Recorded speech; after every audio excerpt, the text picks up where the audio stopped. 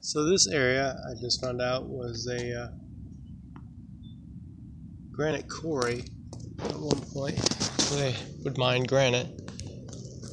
And the goats nearby here, they bring in to mow the grass because the grass is simply too hard to mow.